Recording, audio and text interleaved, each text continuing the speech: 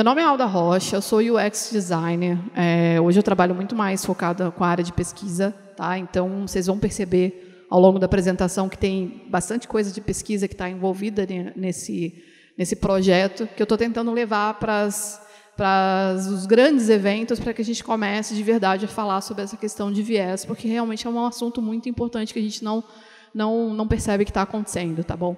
Então, primeiro assim, começando do início, o que, que é viés? Tá? É, a gente indo bem nessa na linha, quase como se fosse, sabe aqueles comerciais de remédio que esse medicamento. Né? né, né então, falando bem, lendo bem assim, que é exatamente a explicação tradicional do que, que é o viés, de fato. Viéses inconscientes são qualquer forma de parcialidade a favor ou contra algo em que o indivíduo enviesado não tem acesso nem controle sobre a existência do viés.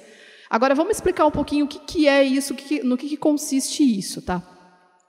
Será que as nossas avaliações, será que toda vez que a gente é, se questiona ou julga alguma coisa, a gente está sendo justo? Será que realmente elas são justas? É, não se preocupem com o material. Dessa, essa apresentação ela está num formato assim que tudo que está sendo apresentado tem um linkzinho de referência, então eu vou mandar para o pessoal para distribuir depois, para vocês acessarem. Então, não se preocupem que vocês vão ter acesso, tá bom? Esse aqui é um texto que ele fala muito sobre isso, ele fala exatamente sobre as questões de viés inconscientes e se realmente é, isso é justo ou não e o quanto que isso acaba influenciando nas nossas decisões que a gente toma no dia a dia, tá bom? Vamos falar um pouquinho sobre isso, tá? É, toda vez que a gente faz uma escolha, toda vez que a gente faz, é, que a gente opta por alguma coisa, a gente tem um monte de contextos que influenciam nessas nossas decisões, tá? O contexto atual que a gente vive hoje e o contexto que a gente viveu. Então, assim, o ambiente que a gente foi criado, ele influencia nas decisões que a gente toma, e isso é gravado no cérebro exatamente como uma, é, o rastro da memória. Então, assim como você lembra de um episódio na sua infância em que você, sei lá, foi num lugar e você se divertiu bastante, ou então, não, você ficou muito triste, é, você também lembra de algumas coisas do ambiente em que você, foi, que você conviveu e foi criado, tá? E isso influencia na sua decisão atual. Então, por exemplo, se você vive num contexto em que é, ninguém come salada porque, sei lá, salada é um negócio péssimo, horrível. Por mais que você nunca tenha provado salada, você vai ter essa sensação de que comer salada é uma coisa ruim, tá? Até um dia que você prova e você muda esse, essa tua que você foi enviesado pelo ambiente, pela família, pelo contexto, pelo cenário, pela escola, por todo mundo que convivia em volta, a achar que salada era uma coisa péssima, uma coisa ruim. Como que a gente consegue entender assim a velocidade com que isso acontece? Tá? É, esse vídeo ele é muito interessante porque ele mostra exatamente nesse contexto aqui tem um menino, tem um garoto, ele tem, se não me engano, sei lá, uns 8, 10 anos, algo parecido. É, eu não lembro exatamente a idade do, do menino, mas ele está há uns 2, 3 anos treinando para fazer aquele negócio de empilhar copo, sabe? Porque ele participa de campeonato, etc. e tal.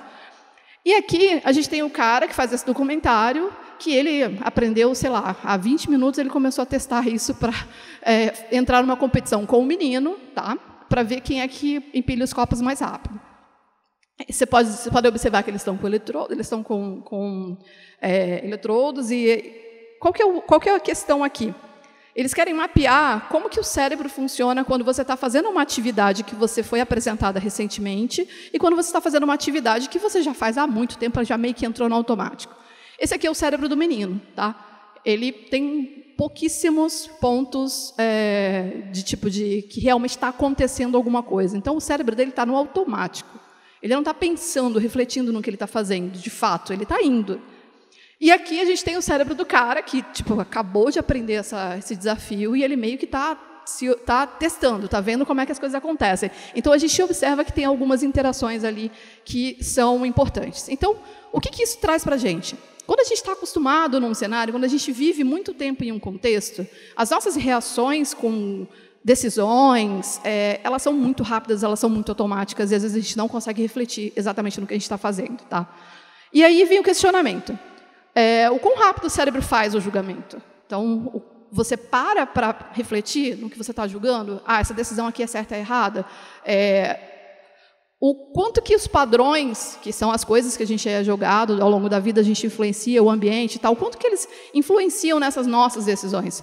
O quanto que a gente, de repente, não coloca uma salada no cardápio porque a gente acha que salada é um negócio absurdo e a gente não se questiona se, se para as outras pessoas também é assim. E aí a gente entra na questão do seguinte, é, o cérebro consegue regular e corrigir os pensamentos? Será que ele consegue fazer isso? Qual é a velocidade que ele consegue fazer isso? É, a gente consegue, assim como com a velocidade que a gente consegue julgar e tomar uma decisão, a gente consegue também corrigir essa decisão? Por que, que isso é relevante? Quando a gente está falando de experiência, então a gente, como profissional que desenvolve é, tecnologia, a gente desenvolve experiências, tá? a gente passa pelo processo de experiência. Quando a gente está falando de que eu vou desenhar um, um, uma interface, quando eu estou é, criando um, um e-commerce, qualquer outra coisa nova, eu estou envolvendo experiência. Tá? E toda experiência, esse aqui é o, é, é o que a gente fala de, são os três níveis que a gente tem quando a gente resume uma experiência. Então, ela é, é ela é visceral, ela é comportamental e ela é, reflete, ela é reflexiva. Então, assim, quando eu estou refletindo sobre essa experiência, eu estou falando que essa experiência me completa. Então, quando, eu tô, quando ela é comportamental, eu falo que eu consigo né, é, me sentir, tipo, nossa, isso aqui só que imagina, aquele momento que a gente usa aquele, que a gente consegue usar, né, aquele aplicativo, então a gente consegue acessar aquele site, dá tudo certo, a gente desenvolve aquele, faz aquele código, a gente fala assim, nossa, isso aqui eu estou me sentindo assim, a pessoa mais inteligente do universo. E aí, visceral é quando você quer muito aquilo.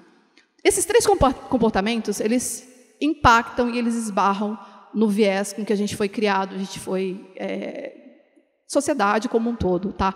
Você não vai querer uma coisa que você, é, a gente normalmente a gente quer uma coisa que a gente passou a vida inteira crescendo, né, e vendo. Quando a gente é criança a gente não pode, quando a gente é adulto a gente pode, então a gente vai correr atrás disso. Então isso tudo influencia, tá? Isso é experiência.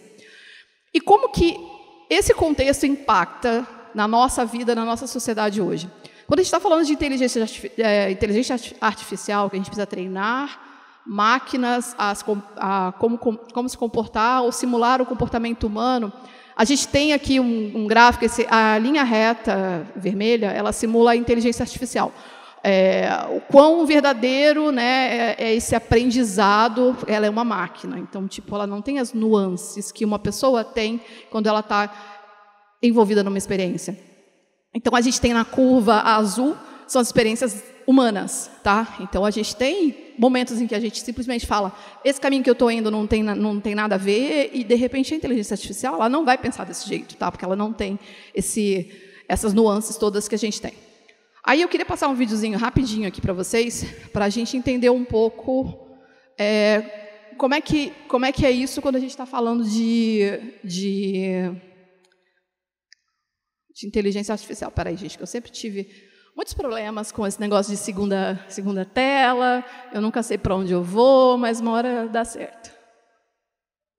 Eu sempre, parece que eu estou jogando aquele joguinho assim, que você tá, tem que clicar num negócio assim e Não sei se está indo, está indo? Espera aí, deixa eu ver que eu acho que o áudio não está não tá rolando. É, tá. Deixa eu só ver se eu consigo passar rapidinho para vocês entenderem um pouco. Vou, vou pôr a legenda. É que sem áudio fica, fica meio triste, mas eu vou pôr a legenda. Pode ser? Pode ser. Espera aí. Deixa eu só colocar a legenda. Ó, tá vendo? Eu sempre acho que eu estou tendo que caçar alguma coisa. Espera aí. Vai.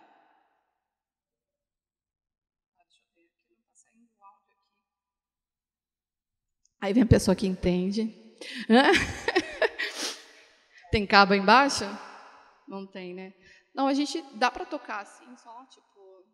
É que não, é que eu acho que ele não está indo mesmo no, no, Bom, vamos lá, senão vai atrasar muito a apresentação.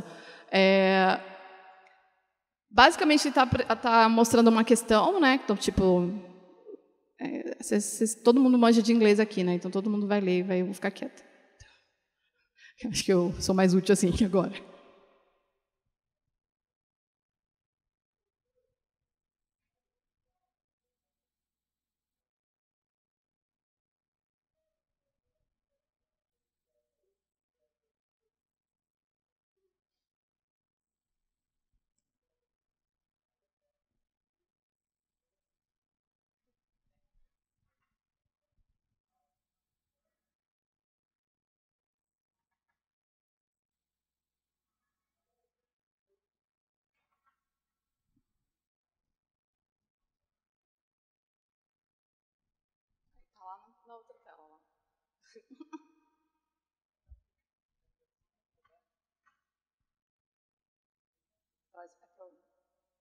Para o lado esquerdo.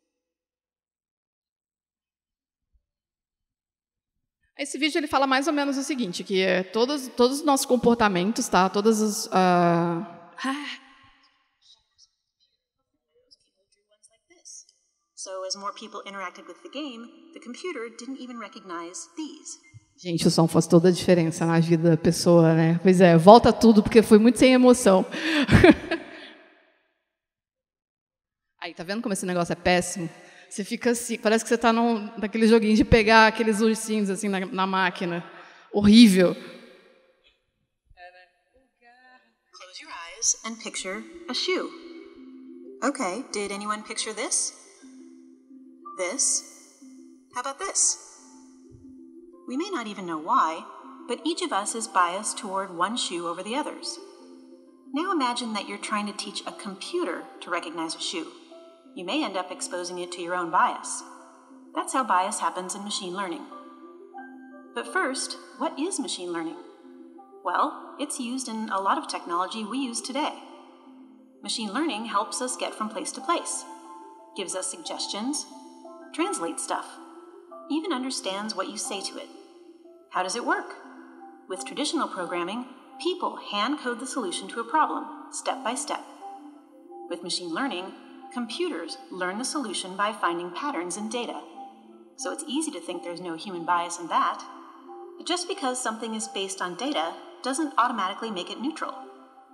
Even with good intentions, it's impossible to separate ourselves from our own human biases. So, our human biases become part of the technology we create in many different ways. There's interaction bias, like this recent game, where people were asked to draw shoes for the computer. Most people drew ones like this. So, as more people interacted with the game, the computer didn't even recognize these. Latent bias. For example, if you were training a computer on what a physicist looks like, and you're using pictures of past physicists, your algorithm will end up with a latent bias, skewing towards men. And selection bias. Say you're training a model to recognize faces. Whether you grab images from the internet or your own photo library, are you making sure to select photos that represent everyone? Since some of our most advanced products use machine learning, we've been working to prevent that technology from perpetuating negative human bias. From tackling offensive or clearly misleading information from appearing at the top of your search results page, to adding a feedback tool on the search bar so people can flag hateful or inappropriate autocomplete suggestions. It's a complex issue and there's no magic bullet, but it starts with all of us being aware of it so we can all be part of the conversation. Because technology should work for everyone.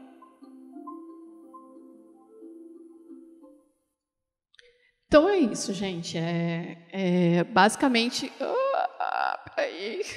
socorro, cadê o mouse? Não, não quero, quero fechar você. Socorro! Ah, desgraça! Ah. Tá vendo? Eu odeio isso. Pronto, foi. Ai. Gente, tem que ter uma solução melhor para isso. Vai, vamos lá. É... Sim.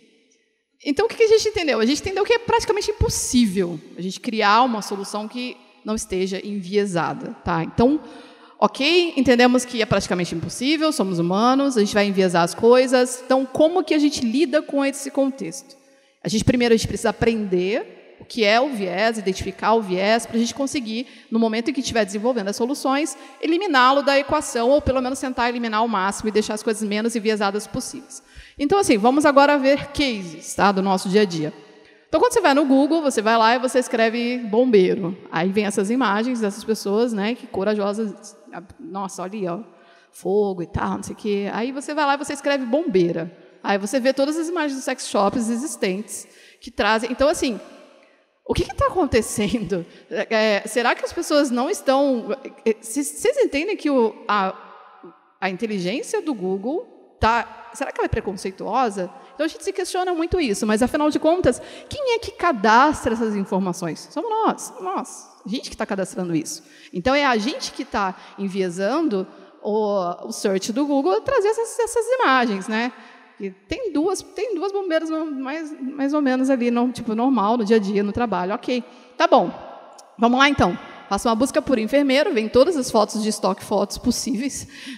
o enfermeiro sempre sorrindo e é engraçado que nunca tem um enfermeiro no dia a dia, sempre um enfermeiro saído do ER ou de algum outro programa desse de TV de médico. E aí você coloca enfermeira, a gente também tem as fotos de, de sex shops também aparecendo. Então, assim, ou realmente o fetiche das pessoas é muito bizarro, porque as pessoas têm fetiche com serem salvas e né, estarem morrendo, alguma coisa parecida, ou as pessoas ainda não aprenderam a cadastrar as coisas com, com a nomenclatura correta para fazer com que a máquina aprenda e traga esse tipo de resultado. Mas, assim, é só no Google, no, no, no Fotos, no, sei lá, por imagem? Não, a gente tem um problema também muito sério no Translate, tá? Todas as respostas de tradução, de, de é, inclusive eles já reconheceram isso, eles estão tentando tirar essa questão do gênero dentro das respostas de tradução. Então, assim, é, normalmente se você fala que você é, está buscando uma doutora, ele vai lá e corrige para o doutor, entendeu? Então, tipo, ele, porque quando cadastraram, não pensaram no personagem feminino dentro dessa equação. É, e por que que esse tipo de pensamento Meninos vestem azul, meninas vestem rosa. Por que, que ele é perigoso? Tá? Porque ele coloca a gente em caixinhas em que a gente não consegue ver o, as nuances das coisas. E por que, que isso é perigoso? Porque, por exemplo, quando você vai comprar uma gilete de, de barbear, né, que tá uma gilete, você vai lá comprar um, um, a azul custa X e a rosa custa quase duas vezes mais. É o que a gente chama de taxa rosa. Todos os produtos que são rosa para menina, eles são mais caros, eles são é, roxo também está se transformando num produto caro ultimamente, mas eles aparecem, eles são pelo menos 12% mais caros tá, do que a, a, a, maioria. Então, assim, vai mudar a sua vida se você usar um, um para depilar a perna um negócio rosa ou azul? Não, você vai comprar o mais barato. Né? Então, tipo assim, será que. Enfim. A gente tem esses problemas. E não é só isso, tá? A partir do momento que você fala que, tipo assim, um produto é de, é de é, um gênero específico, você cria limitações. A gente tem limitações sérias. Limitações em que, por exemplo, o pai, com uma criança, ele não consegue ir no banheiro porque não existe, ou tá, tem muito pouco a opção, porque homem não troca a fralda da criança. Né? Então, tipo, isso é um viés que limita é, todas as soluções que a gente pode desenvolver. E aí a gente entra na questão, por exemplo, eu, tenho, eu sou mulher e eu tenho um filho menino e eu vou entrar no banheiro feminino. Ai, meu Deus, o menino vai virar menina a partir do momento que ele entrar no banheiro. Tem muita gente que não entra com a criança porque acha que ele vai, sei lá, ele vai resolver descobrir o, é, que, ele não, que ele não é um, um menino a partir do momento que ele pisar no banheiro. E a gente tem a questão toda dos banheiros inclusivos quando a gente está falando do, do, das pessoas transexuais. Então, assim, quando eu coloco aqui uma coisa de mulher e uma coisa de homem, como a gente teve esse contexto todo no passado, é, que inclusive é por isso que a gente tem toda essa dificuldade de trazer mulheres para a tecnologia, porque quando tem a menininha lá, ela ganha um presente, ela ganha normalmente uma coisa rosa, uma coisa que é de casa, e o menino ganha um computador. Então, assim, a inclusão com tecnologia com o homem, ela acontece muito mais cedo do que com a mulher. E a mulher tem todo aquele processo de se libertar de todas as questões e viés de que a mulher é a dona de casa, é a do lar, para conseguir trabalhar com tecnologia. Então, a gente entra muito mais tarde, tá? E aí a gente tem coisas como essa, tipo cervejas que são feitas especialmente para a gente, porque elas são com perfumadas e leves. Porque, não sei, alguém resolveu falar que mulher não gosta de cerveja forte. E eu tomo IPA. E, tipo, Não, é, isso é um viés, tá? É, mulheres gostam de cervejas coloridas e não sei o quê. Eu tenho um monte de amigo meu que adoram Sex on the Beach, não o Sex on the Beach, mas a bebida Sex on the Beach. E é extremamente colorida e fica todo mundo assim, o garçom quando vem servir, ele fica meio facilmente ele vai servir essa, essa bebida para uma mulher se ela estiver sentada na mesa, tá? Isso é viés. É, e aí a gente tem Johnny Walker é, entendendo que o produto deles está relativamente enviesado, tá? A partir do momento que eles têm um rótulo que é um homem é, caminhando, e você fala assim, ué, mas então só homens bebem whisky? Eles fizeram uma campanha recentemente que foi exatamente lançando a versão da Jane Walker, que é exatamente para mostrar que o uísque é para todo mundo, e sim, homens e mulheres consomem. Porque quando você pensa em uísque, você já pensa logo, né, tipo assim, ah, os caras no bar fumando charuto, não sei o quê. E não precisa ser assim. E eles, inclusive, foram citados pela Time como um case super interessante. É, e, e, foi uma mulher que é, encabeçou a iniciativa. E o que, que isso é, muito interessante? Porque aí a gente entra numa outra questão. O viés que as pessoas têm de como as mulheres precisam se comportar, como elas precisam ser. É, esse caso é recente, tá? Tá lá, Capitão Marvel, é, e o cara foi e falou assim: bom, corrigi e fiz ela sorrir em todas as fotos com aquele o app, sabe o appzinho que vocês estão envelhecendo aí, passando todos os dados de vocês? Então, é, ele usou o mesmo app para fazer ela sorrir nas cenas em que ela estava séria. E, porque para ele a mulher no, no filme precisa sorrir, filme de herói. Aí deu uma treta, e, enfim, é, isso é sim sexismo, etc. e tal. É, saíram todos os jornais, só que aí ela respondeu. Ela falou assim: bom, então está querendo dizer que todos os heróis precisam sorrir, né? No, no, então, beleza. Então, ela usou o mesmo app e fez todos os. Bizarro. Nossa, muito bizarro. tipo, não é uma questão de gênero, tá? É, ela não está sorrindo naquela cena porque, tipo, gente, ela vai salvar o mundo. Tipo, porque ela tá, tá, tá, tá treta, tá acabando o mundo. Normalmente, filme de herói tá acabando o mundo e precisa salvar. Então, tipo, por que, que, ela, por que, que ela ia achar engraçado, né? Então, é, esse é um viés também. A gente está falando de Brie Larson, uma mulher que foi citada no, no, nas 100 maiores é, pessoas mais influentes do mundo. E o que acontece quando estou falando de uma mulher que está aqui dia a dia, trabalhando, que não é famosa, etc. e tal? Normalmente, no trabalho, a gente ouve muito de chefes que, se você não está sorrindo, é, você precisa refletir, porque você é uma pessoa infeliz. Né? Então, assim, é, esse depoimento dessa mulher é muito interessante, porque ela fala exatamente isso, que ela chegava no trabalho, e ela chegava no trabalho assim, que suco fervendo, cliente, sabe? Tipo, você chegou no modo, preciso resolver tudo que está acontecendo de ruim na empresa. E as pessoas perguntavam, nossa, por que você não sorri? Mas você sorri tão pouco.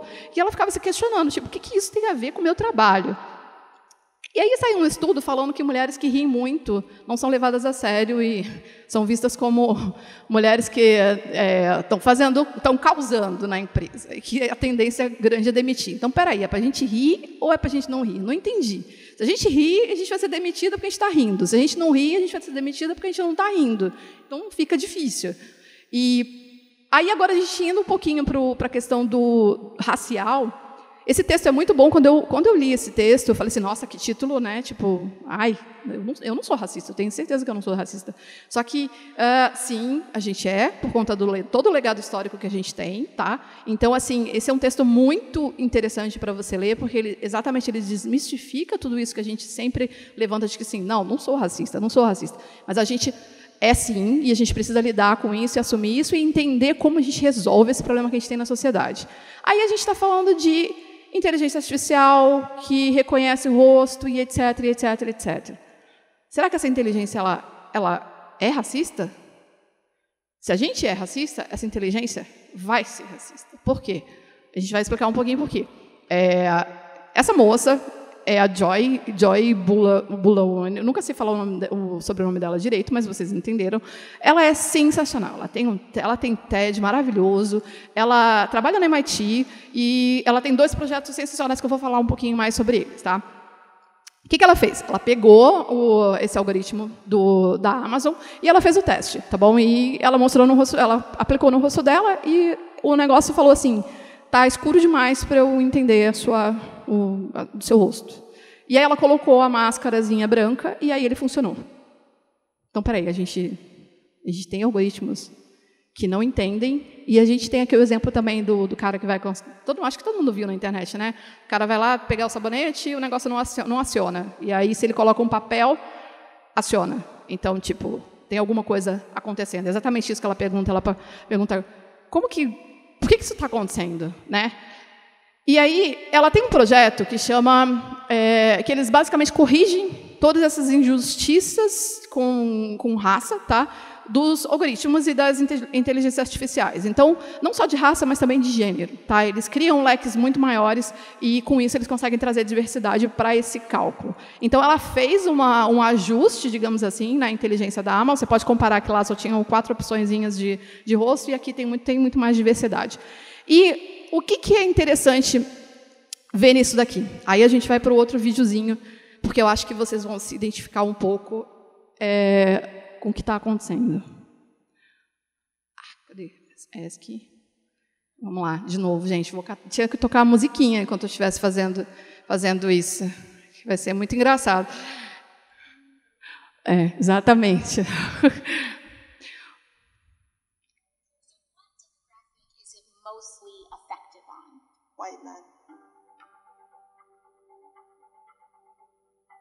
saw that these algorithms are um, effective to different degrees. So, are, are they most effective on women? No. Are they most effective on people of color? Absolutely not. Are they most effective on people of different gender expressions? No, in fact, they exclude them.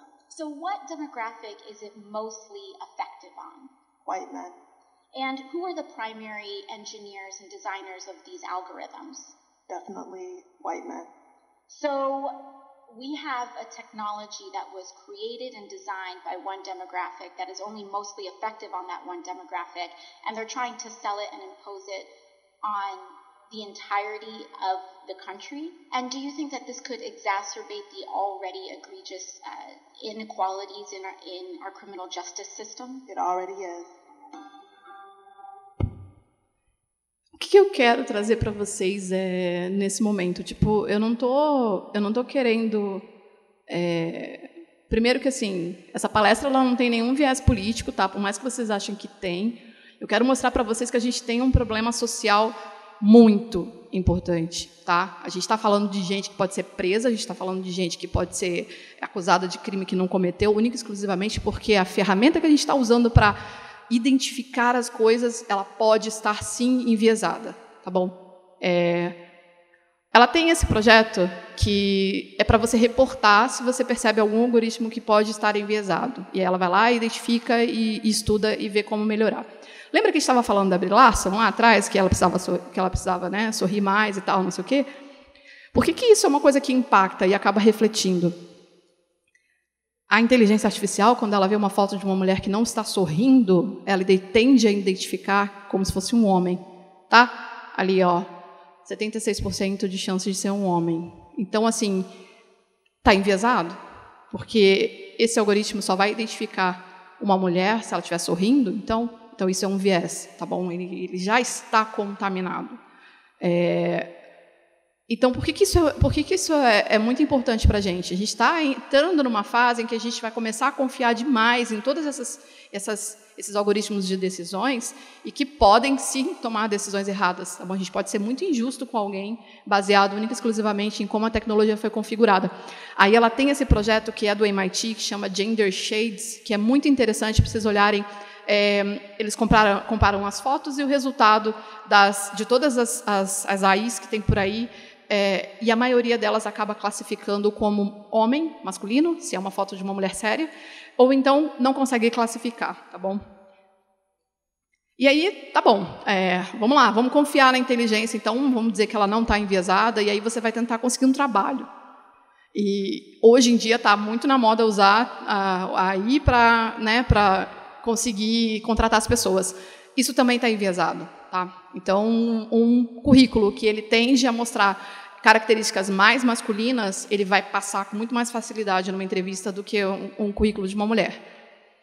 É, a gente tem estudos, provas e a gente tem é, questões que justamente chamam um alerta para isso, que a gente não pode depender 100% da máquina. A gente precisa passar pelo filtro humano e, em especial, um filtro que não esteja enviesado para conseguir analisar esses problemas e conseguir identificar. Então, assim, é, a gente tem contaminações tá, do nosso ambiente, isso é grave. Isso tem vários canais e eh, grandes é, empresas falando sobre isso, falando sobre como a gente vai, é, como está sendo exposto toda essa questão do viés, tanto racial quanto de gênero, dentro da, da inteligência artificial e da tecnologia que a gente tem hoje. Aí a gente vai lá e a gente fala assim, mas como assim, né? Tipo, não, não vejo nada, não impacta nada no meu dia a dia. A partir do momento que você começa a usar um assistente virtual, que você tem lá é, a nossa querida Alexa, Cortana e são todas, a maioria delas são mulheres, tá? Por que, que elas são mulheres? Vocês têm um chute? Porque a mulher é a mulher cuida, a mulher zela, a mulher é a secretária, a assistente. Gente, isso é um viés. Por que, que o homem não pode exercer esse papel? Tipo, esse papel, na verdade, ele nem deveria ter um gênero, tá? Qual que é o risco que a gente tem quando a gente cai nessas, nessas questões de gênero? Quando você vê um filme que você fala sobre uma inteligência artificial, que o cara se apaixona por ela, que ela é uma mulher, que tem uma voz sensual, não sei o quê, e ela... Todo mundo viu o filme aqui, gente? Tá, então não vou dar isso. E ela vai e ela atrai o cara com um monte de gente, então, tipo assim, como assim? Peraí. Se fosse, se fosse uma inteligência artificial que é um homem, será que isso ia acontecer? Aí quando a gente entra para uma inteligência artificial que é um que é no, na questão do masculino, a gente tem uma, aquela imagem do sensacional, né, do super inteligente, sagaz, o, o, é, o Jarvis maravilhoso que vai. Então, tipo assim, por que que quando a gente está falando de uma assistente que tem uma voz feminina, ela é a o caso, né, o romance, quando a gente está falando de um homem, é o que realmente consegue executar o, o serviço e mostra para que veio, né? Aí a gente tem esse, esse é o último videozinho que eu vou passar. Eu quero que vocês observem porque quando eu ouvi isso, eu fiquei muito sério. Eu não dormi tipo por uns dois dias porque eu fiquei meio impactada. Eles criaram uma voz que é gender neutral, tá? E eles pedem para a gente divulgar e conseguir chegar, por exemplo, no, no, no Google e em outros canais e mostrar que existe, tá? Então, vamos ver, vamos ver. Opa, peraí. Abrir de novo um negócio que não era para abrir. Vamos lá. Poxa, era o último abinha. Onde você está? Achei. Só para vocês entenderem que existe todo um projeto por trás disso. E isso é uma coisa muito relevante, tá? Hi, I'm Q, the world's first genderless voice assistant. Think of me like Siri or Alexa, but neither male nor female. I'm created for a future where we are no longer defined by gender, but rather how we define ourselves. My voice was recorded by people who neither identify as male nor female, and then altered to sound gender neutral, putting my voice between 145 and 175 hertz, a range defined by audio researchers. But for me to become a third option for voice assistants, I need your help. Share my voice with Apple, Amazon, Google, and Microsoft. And together we can ensure that technology recognizes us all. Thanks for listening. Q. Então, assim, a gente tem algumas alternativas, tá? Tipo, a gente está começando a aprender a entender a importância de, de tudo isso, mas ainda é tudo muito, novo. Para mim, ainda parece bizarro. Por quê? Porque a gente está enviesado, tá? Então, tipo, para mim, eu ainda estou muito acostumada a, a, a, ter uma assistente que é uma mulher. É... E aí, quando a gente fala de, de voz, de linguagem, a gente tem as pessoas, é... as pessoas negras que elas sofrem muito com isso. Por quê? Porque a partir do momento em que você ouve a voz de uma, de uma pessoa falando, aquela voz que, que tem uma galera que fala assim, ah, o, o gueto, né? E você já tende a discriminar e achar que é uma pessoa que é marginalizada, ou é, quando você ouve a voz de latinos, também você tende a pensar isso, isso também é um viés, tá bom? É, tem um, um, esse, esse videozinho, depois eu vou mandar para vocês verem, porque foi exatamente o caso em que é, o cara estava no julgamento, ele estava se defendendo, e a partir do momento que ele começou a falar, o juiz deu a entender de que ele era um bandido e condenou injustamente. Então, assim, para vocês entenderem o quanto que isso é sério e isso é grave. Aí tem esse filme que faz uma crítica exatamente sobre isso, porque ele fala, é, chama Sorry to Bother You, e ele tem um videozinho que é o momento em que eles estão fazendo o White Voice. O que, que é o White Voice? É, essa galera está trabalhando é, imagina, estão trabalhando num call center, só que eles são negros e eles precisam vender. E aí eles falam que eles precisam fazer o white voice para poder vender, tá? E Porque se eles fizerem a voz, a voz deles, eles não conseguem. Ninguém vai querer comprar alguma coisa de, de uma pessoa negra. Então, assim, é, é, bem, é bem impactante isso. E aí, depois a gente fala assim, ah, isso não acontece e tal. A própria Ocasio, ela, a Cortes, ela ouviu isso durante um tempo que ela faz um latina voz. Gente, ela é latina. É, ela tem descendência latina. E aí, a, a, o, o viés nisso é que quando a gente faz né, o a gente é barraqueiro. Tipo, é, latino tem aquele negócio meio treteiro, meio barraqueiro, meio. E, e a gente tem esse estigma. E aí, quando a gente vai para a política, a gente vê mulheres na política é, brigando, falando, nananana, você fala assim: ah, essas, essas, essas bagunceiras aí, essas mulheres tudo, tudo louca. tudo Então, isso também é um viés, porque a gente não está acostumado a ver mulheres na frente lutando por direitos, porque até pouco tempo a gente nem podia votar.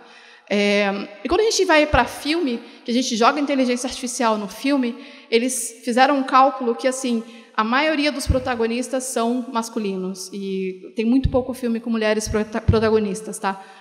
E Hollywood está tentando mudar isso, está tentando colocar mais diversidade, mas ainda é muito difícil. Por quê? Porque ainda é um nicho muito enviesado e é um nicho que ainda tem muitos problemas com isso. Só que não é só, é, é tudo, tá, gente? A gente vai para é, marketing, a gente vai para uma coisa que ninguém nunca imaginou, quando a gente fala de saúde, tá? Vocês sabiam que as mulheres elas são é, demoram muito mais se elas estiverem tendo um ataque cardíaco, demora muito mais para acontecer o atendimento delas, única e exclusivamente, porque quando você tem um ataque cardíaco, você tem que é, abrir a roupa da pessoa e né, colocar lá os negócios para reanimar, por exemplo, quando você está morrendo. E as mulheres, quando você abre a roupa, tem, tem peito, né? E aí, tipo, todo mundo meio que trava e não atende. Isso também é um viés. Então, a gente pode morrer, a chance de a gente morrer mais rápido, porque o atendimento é um pouquinho mais devagar, porque somos mulheres, é, acontece, tá?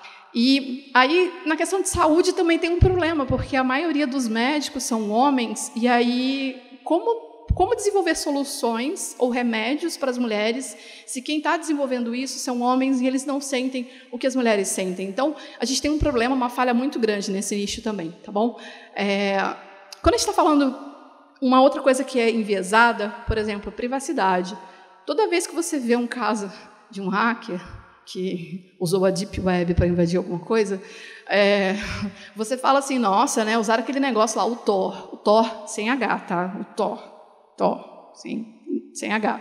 É, só que assim, ninguém para para pensar, aí todo mundo vai lá e demoniza a ferramenta, né? Porque o Tor existe para invadir o computador das pessoas e fazer crimes e não sei o que, não sei o que. E aí vocês esquecem que o Tor existe exatamente para ajudar a ter acesso no anonimato, em, por exemplo, em lugares onde você não pode usar a internet. Então, tipo, a gente está falando de, de social, a gente está falando de inclusão social, e as pessoas levam isso para o crime. Isso também é um viés, porque, afinal de contas, anonimato tende a ser visto como é, alguma, algum ato criminoso. E aí você vai para a internet, né, porque a internet odeia as mulheres, e, na verdade, a internet não odeia as mulheres, ela só é um canal que é, replica o comportamento das pessoas, e o exemplo mais clássico que tem é que só recentemente os bonecos de teste de carro foram feitos nos padrões femininos. Até então, as mulheres morriam e morrem ainda absurdamente por conta de batida de carro, porque todos os equipamentos de segurança não são feitos para suportar o padrão feminino, tá bom? É, há pouco tempo a Volvo fez uma campanha envolvendo muito esses contextos. Aí a gente vai para games, aí a gente tem um problema. Aí a gente meu Deus, eu tenho só cinco minutos. Já, não, faz cinco minutos que eu tenho cinco minutos, mas é, eu vou tentar correr aqui para acabar, tá bom, gente? Mas beleza, Battlefield colocou mulher na capa do jogo e aí foi uma treta, né? Foi uma treta porque vocês são que absurdo, como é que vocês colocam mulher no jogo? Isso aí é impossível, é, isso é um absurdo. Eles fizeram inclusive uma campanha para no dia que eu tirei essa print tinha 119 mil dislikes, tá? E crescendo. Hoje deve ter um monte de mil dislikes. Aí o cara que fez o jogo ele falou assim, gente, a gente queria incluir mulheres porque as mulheres jogam também e elas precisam se sentir representadas, né, de alguma forma. Aí você imagina assim, tem 20 coisas que são impossíveis, que tem no jogo, que são impossíveis de fazer, tipo pular com um cavalo no avião e atirar com uma bazuca com um cavalo. Você não, você faz isso no jogo, mas isso aí na vida real é impossível. Tem uma só que é possível, você sabe qual que é? Vocês sabem qual que é? é mulheres na guerra. Então, assim, é, é bizarro, mas a gente ainda tem esse problema. Eu tenho um minuto, então o que, que eu, vocês vão escolher se eu continuo se eu paro, porque a gente vai, a gente vai sacrificar as perguntas. O que, que vocês querem? Então tá bom.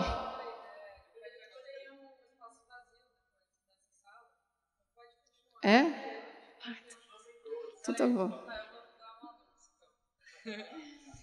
É que a gente, como tem um espaço vazio aqui, a gente, as mulheres que estão aqui na, na conferência, a gente vai usar esse espaço para falar mais ainda sobre isso. Então, quem quiser continuar, pode continuar. Então, vamos fazer pergunta que tem super a ver.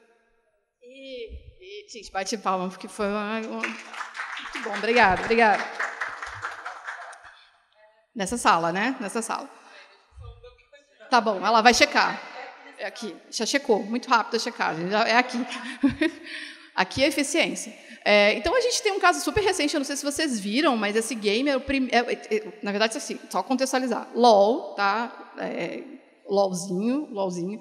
Aqui é o grupo, primeiro grupo de e-sports totalmente feminino, tá? Eles tá, elas estavam jogando, é, assim. Esse time aqui, que é totalmente masculino, eles já tinham vencido o negócio. E elas entraram para jogar porque, meu, elas estavam inaugurando o, o, grupo, o time, primeira vez que tinha um grupo só de meninas. E aí eles, enviesados para cacete, resolveram é, excluir os, os jogadores que eram suporte, porque na cabeça deles, mulher só joga com suporte. Então, eles excluíram todos os jogadores suporte. Com isso, eles tiveram um comportamento completamente machista e completamente desnecessário, porque eles não precisavam, eles estavam jogando, eles estavam ganhando o jogo. Então, tipo, não precisava. E aí foi uma treta. É, a Riot advertiu o, o time dos, dos meninos, e aí foi aquele caos e todo mundo de novo entrando no contexto de games. Games não é inclusivo, games não aceita mulheres. A gente sempre tem esse problema. É, o caso mais recente foi o da, da Razer, né, que é, deu esse, essa questão do a menina respondeu o cara tipo ela estava sofrendo assédio em outras redes faz um tempo e ela respondeu algo do tipo assim ah homem é lixo mesmo. E aí pegaram só esse recorte da frase dela e distribuíram em todas as redes sociais e ela foi meio que crucificada meio que não foi e a Razer vai lá e, ao invés de ficar do lado dela, ela anuncia que cortou o contrato com a menina. Então, tipo assim, ela foi lá e só alimentou mais ainda toda essa esse, esse contexto que a gente já está vivendo. Tem essa campanha aqui, que chama My Game, My Name My Game, que ela é muito impactante porque ela coloca os caras com personagens femininos para jogar. E eles ouvem cada atrocidade, que é mais ou menos o que a gente ouve todo dia. Algo do tipo assim, cara, tem, um, tem uma cena que o cara está jogando, ele fala assim, gente, eu não fiz nada, o cara me mandou ir para a cozinha. Tipo, como assim? E várias outras coisas que a gente ouve todo santo dia, quando a gente está tentando única e exclusivamente jogar. Mas esse problema do poucas mulheres no, no que é o que acontece em games é isso. Tem poucas mulheres jogando, consequentemente a gente tem todo esse problema acontecendo.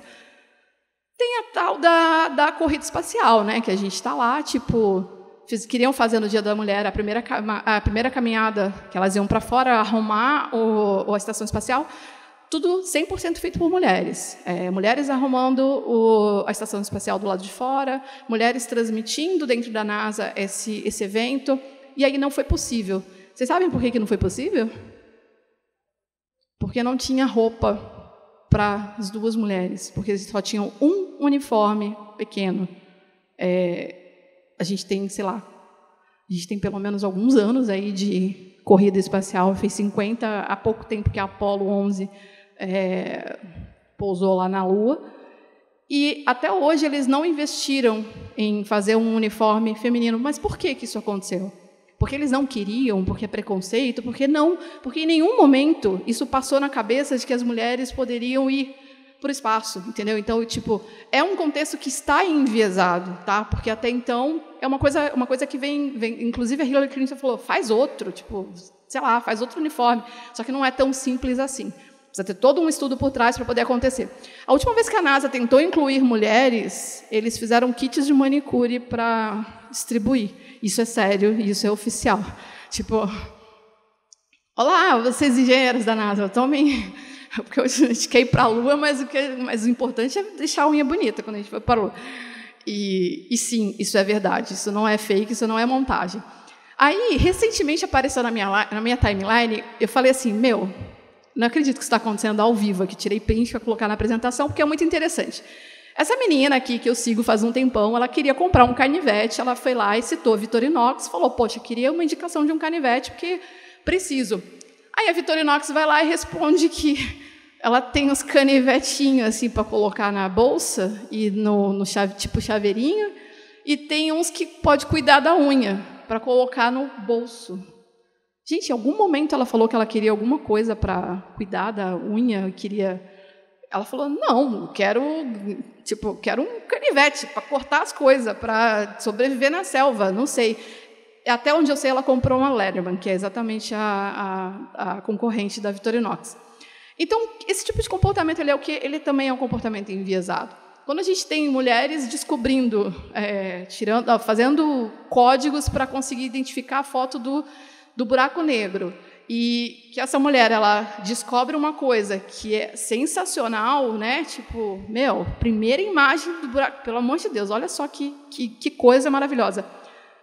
Aí a gente tem todos os trolls que falam que é impossível, porque será para ser uma conquista feita por, por homem.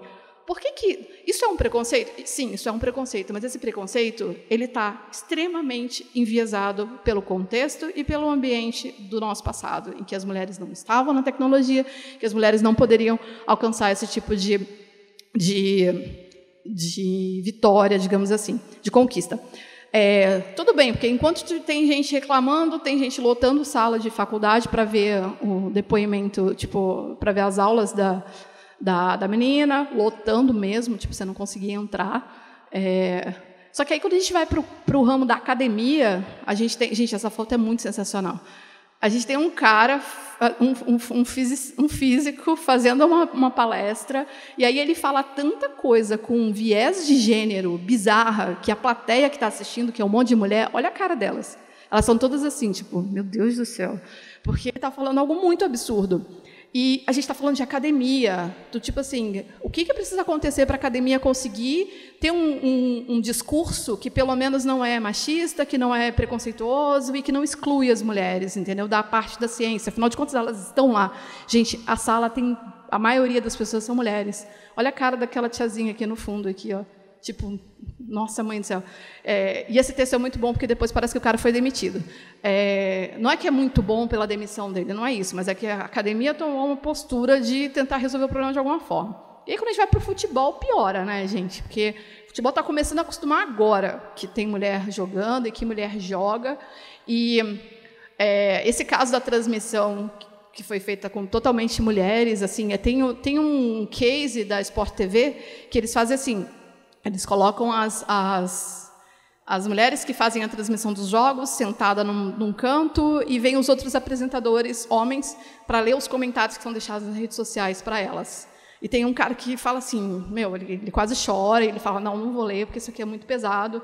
E é, interessante ver como que quando você muda o gênero, gente, é, vai fazer a mesma função. Mas quando você muda o gênero, o questionamento do, de competência ele acaba, ele acaba mudando também. Então, assim, futebol não é para mulher, mulher não joga, e etc. e tal, e aí a gente tem isso acontecendo. Então, assim, é um viés que a gente está tentando mudar, tá? É um, é um, inclusive o uniforme recentemente que ele foi adaptado para as mulheres. Até então, não sei se vocês lembram, mas as mulheres jogavam com aqueles bermudão que parecem bermudas de basquete, porque eram bermudas, é, shorts masculinos que ficavam enormes nelas. E agora eles fizeram um recorte um pouco mais é, feminino. Isso também é inclusão, tá? E aí quando você vai para o esporte, que você tem pessoas que a sociedade fala que não devia estar ali, tá? Que não é o papel delas estar ali, que não é o papel delas é, que como assim você está num esporte de elite? Como assim você você vai observando os padrões, tá? Você vai observando que os melhores profissionais eles como assim você vai jogar de batom? Não pode jogar de batom. Que não pode jogar de batom? Batom não vai impedir ela fazer gol. Então, assim, é, isso também é um viés. E aí a gente tem a gente tem um, um, nicho que a Nike está explorando bastante, tá? Que é tentar mostrar para as mulheres, tentar mostrar para as pessoas que Sonhar é possível, fazer o esporte é possível. É muito clichê de marketing, pode até ser, mas isso tem incentivado muito mulheres que até então não faziam o esporte porque não se sentiam incluídas, tá? E aí você tem todas as mulheres fazendo rugby, mulheres é, plus size é, sendo cheerleader, você tem vários conceitos que não são vistos hoje, mas por quê? Porque elas não queriam fazer? Porque a gente estava... Não, porque era tudo enviesado de que não podia, que não era possível, tá bom? É, Aí, quando você tem esse comercial, que depois eu vou passar no final, mas um comentário falando que louco é ter um, uma, um, um homem transgênero jogando futebol feminino, um esporte feminino, porque é, a competição é injusta. Me lembra esse caso da, do, da Superliga, que o Bernardinho falou que a Tiffany é, é homem, porque eu não sei se vocês sabem, mas o, os times de vôlei masculino e feminino eles treinam de forma diferente. O jeito com que o futebol, o, o vôlei masculino faz o, o saque, o jeito com que ele corta, o jeito com que o homem pula é um treino diferente. Então, a Tiffany, ela ela é uma mulher trans que começou a carreira treinando no, no vôlei masculino. Então, todo o impulso dela não é uma questão de testosterona, é uma questão de treino diferente. Então, ela saca diferente, ela joga diferente, porque ela foi treinada no, no time masculino. Tá? Então, por isso que eles questionam que é injusto ela jogar no time feminino. Então a gente tem viés, inclusive, do jeito com que as pessoas treinam os profissionais, tá bom? Porque treinar a mulher de um jeito, treinar a mulher de um outro, de outro jeito. E quando a gente tem um comercial da própria Gillette falando que homens podem chorar, homens podem cuidar um dos outros, eles podem ser gentis, eles podem ser é, educados, e tem um milhão de dislike, a gente tem algo muito sério acontecendo. Tipo assim, é, é ok homem ter insegurança. É, isso também é uma outra ponta do viés que fala que homem não pode falhar, o homem tem que sustentar, tipo, tem que ser a, quem sustenta a família, que não sei. Isso também é um viés que a gente também que é muito perigoso, a gente precisa quebrar, tá bom? Recentemente é que a gente tem é, stock fotos com, com com diversidade LGBT. Por que, que isso era um problema? Porque até então ver, ver foto de duas mulheres na mesa tomando café era pornografia, porque afinal de contas tinham duas mulheres. Tipo, elas estavam fazendo coisas normais da vida. Ou ver dois homens também como um casal ainda é hoje estigmatizado como pornografia, como algo indecente, como algo imoral, como algo é, que não é para existir. Então, a gente tem também stock fotos aparecendo com é, mulheres, em mulheres negras em tecnologia, que também é muito difícil a gente ver acontecendo, exatamente para se sentirem representadas. Tá?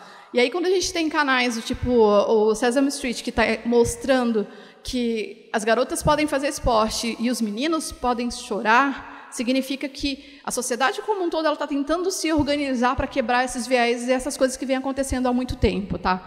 É, quando você vai na Wikipedia e você vê que a maioria dos gênios, da, do, das, das, personalidades citadas lá são homens, e você junta um grupo de mulheres para conseguir mudar, alguma iniciativa para conseguir mudar isso, isso também é um esforço que está acontecendo para a gente mudar esse cenário de viés, tá bom? Então, assim, o que, que eu apresentei para vocês? Que o viés ele é porta para preconceito. Tá? Então, assim, às vezes a gente faz, a gente tem escolhas, a gente tem atitudes que a gente não lembra, a gente não, não para para pensar se aquilo ali realmente pode estar enviesado ou não. Tá? E aí, é, como eu trabalho com UX, eu vim trazer para vocês algumas, algumas metodologias que a gente pode aplicar para conseguir, antes de implementar e codar as coisas, tentar identificar um pouco se aquilo ali está enviesado ou não. Primeiro, a gente precisa saber o que é viés. Então, eu indico que vocês estudem um pouco sobre isso, tá? entendam todos os tipos de, de viés que existem e como que a gente consegue mudar. E a gente tem que usar ciência para fazer análise. Então, assim, tentar desligar um pouco do, do, do da eu pessoa e tentar usar ciência para analisar as coisas. Então, se você tem um método científico que você faz pesquisa, você, você levanta hipótese, você é, testa, você faz análise, você tira conclusão, você consegue eliminando alguns viés, tá? É, das coisas. Falando de UX exatamente, que é a área que eu trabalho, a gente tem, como todo o cenário de tecnologia, uma diferença muito grande de quantas mulheres trabalhando no mercado e quantos homens. A gente tem uma 61% dos profissionais, é, 60% dos profissionais, eles se identificam como homem. Então, assim, provavelmente as soluções que a gente está desenvolvendo também, a gente tá, os problemas que a gente está resolvendo também, UX, eles também estão enviesados, tá bom? E aí a gente tem uma área que tem muitos clones. São, esse, isso aqui é um evento que eu fui de UX, eu falei, ué, mas só tem eu de mulher perguntando, não é possível que só tem, tem pouquíssimas mulheres. Aí eu pedi para vir para o palco todos os homens de barba e óculos que estavam no evento e eles quase fecharam o palco. E, mas isso é uma realidade nossa. E tipo assim, e qual que é o problema disso? Problema está exatamente nas soluções. Como que a gente muda isso trazendo mais pessoas para a área?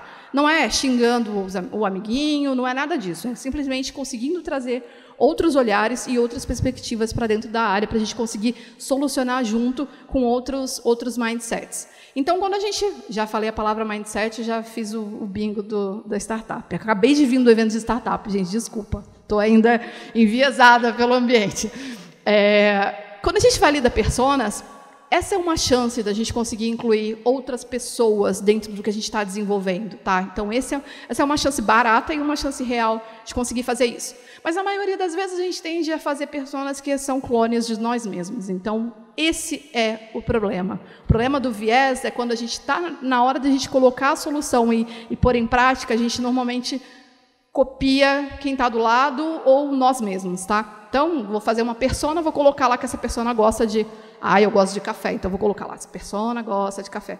Eu estou resolvendo algum problema? Eu estou re realmente impactando o público? Não, eu estou resolvendo um problema para mim. Tipo, eu gosto disso, então a solução vai acabar sendo para mim. É, quando a gente monta um estudo mais aprofundado de personas e a gente consegue incluir diversidade e outras perspectivas, traz motivações, necessidades, interesses completamente diferentes. Então aí é o momento que a gente desenviesa as coisas e a gente consegue solucionar com um pouco mais de abertura e um pouco mais de diversidade nesse contexto, tá? É, existe um, uma análise que a gente faz de tipo de perfil que quando você coloca o usuário no momento em que ele está explorando a solução, no momento em que ele já conhece a solução e ele quer e ele, e ele usa exatamente porque ele conhece, ou no momento que ele está exigente, que ele quer mais, ou ele quer consumir mais desse, desse produto e dessa solução. Existe essa faixa de transição que é exatamente onde a gente consegue explorar os outros perfis e consegue ampliar mais esse espectro de, de, de, diversidade. Tá? E quando a gente faz jornadas, a gente também consegue ter uma visibilidade de onde a gente está enviesando essa, essa solução ou não. Então, assim, é, Lembrando que a gente tem vários públicos, tá? Vários públicos. Quando você desenvolve um, faz um código, tem muita gente que pode sim usar. Então, quando a gente enviesa falando assim, ah, meu público é para esse público, para esse nicho, é esse público-alvo, a gente esquece de outras pessoas, por exemplo, nossas avós, que poderiam muito bem estar, tá, sei lá, usando a solução que a gente está desenvolvendo, mas a gente não, não, não lembra que a gente precisa aumentar o tamanho da fonte e que precisa ter acessibilidade, né? Que coisa. E tem uma outra metodologia, a matriz CSD, que a gente usa exatamente para conseguir entender quais são as certezas que a gente tem sobre esse projeto, quais são as suposições que a gente tem sobre o projeto, quais são as dúvidas.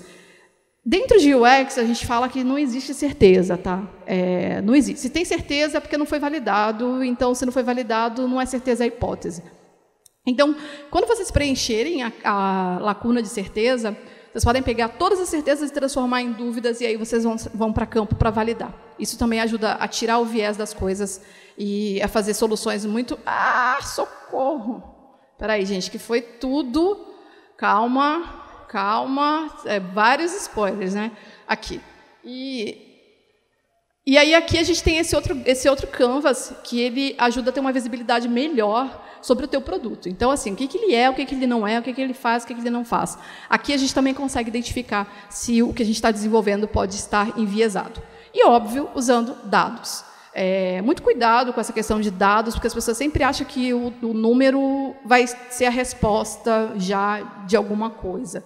O dado ele tem que estar muito próximo, muito atrelado com é, com as áreas, outras áreas da empresa de análise, etc. e tal, para poder ver se ele faz sentido, tá? Não adianta você me falar que 14 pessoas do, do, sei lá, do Rio de Janeiro entraram na plataforma, você não entendeu o contexto dessas 14 pessoas. Então, assim, o dado só o dado, ele não diz muita coisa, talvez para a inteligência artificial. Agora, para quem realmente vai solucionar isso, se for uma pessoa, precisa ter mais contexto. Então, aqui eu tenho um apanhado de conteúdo para vocês estudarem, eu vou passar rapidinho, tá? Só que eu queria dar um destaque para esse livro. Esse livro é muito bom, ele fala exatamente sobre é, todas as soluções que são feitas hoje, a maioria das soluções são feitas hoje, que não são pensadas para as mulheres. Então, é, como incluir as mulheres nesse, nessas soluções e a gente conseguir ter algo que realmente é inclusivo. Tá bom? Esse livro é sensacional, vale muito a pena. E aí a gente tem aqui tem uma apresentação do Google falando sobre, sobre viés, a gente tem estudos de academia, é, vários estudos, eu vou deixar esse material com vocês. A gente tem a página de pesquisa do MIT, que tem coisa muito interessante falando sobre inteligência artificial com segurança, com é, privacidade, com, tem, tem coisas muito bacanas ali. A gente tem também mais coisas de academia, a gente tem o relatório do, de Hollywood falando sobre diversidade em filmes. A gente tem, meu, tem muito, sério, tem muito conteúdo. E também eu queria dar um destaque para o pessoal da Mozilla, que está fazendo esse Health Report, que ele basicamente faz um apanhado da saúde da internet, mas ele trata muito sobre essas questões de viés, tá? Então é muito relevante para dar uma, um, ampliar um pouquinho o tema. Aí a gente tem é, a questão do, do racial dentro do, do, da inteligência artificial a gente tem racial dentro da automação e a gente tem também equidade de gênero dentro do mundo corporativo. Isso tudo aqui é PDF para vocês baixarem, para vocês estudarem.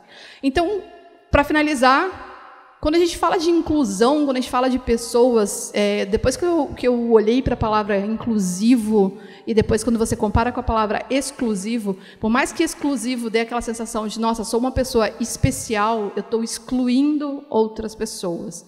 Então, quando um produto ele é exclusivamente feito para você, provavelmente ele é feito para um grupo pequeno de pessoas que não, né, não englobam todas as outras pessoas, então ele não é inclusivo. Muito cuidado que não é a tecnologia que falha, tá? Toda vez que a gente pensa, ah, esse algoritmo ele não é inclusivo, ele não é não sei o que, não... tem alguém alimentando isso. Então a gente precisa entender que quando a tecnologia falha, provavelmente tem um grande peso de erro humano nisso. Então a gente precisa arrumar no humano para a gente conseguir melhorar na parte de soluções e de interface. E é isso, gente. Obrigada.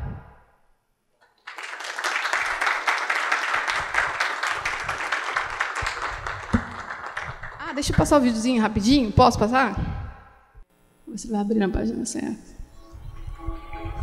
If we show emotion, we're called dramatic. If we want to play against men, we're nuts. And if we dream of equal opportunity, delusional. When we stand for something, we're unhinged. Sue Bird's gonna need to calm down. When we're too good, there's something wrong with us. And if we get angry, we're hysterical, irrational, or just being crazy. But a woman running a marathon was crazy. Officials tried to pull her off the course. A woman boxing was crazy. A woman dunking? Crazy. Coaching an NBA team? crazy. A woman competing in a hijab, changing her sport, landing a double cork 1080, or winning 23 Grand Slams, having a baby, and then coming back for more? Crazy, crazy, crazy, crazy, and crazy. So if they want to call you crazy, fine. Show them what crazy can do.